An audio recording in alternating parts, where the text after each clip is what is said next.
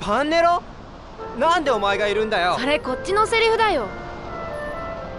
どうせまた無茶するつもりでしょ？なんでもないって。うーん。本当？本当に無茶しないんだったら私がついていっても大丈夫だよね。は？遠慮しなくていいよ。ミゲロさんはパーティーの支度で王宮に行ったから。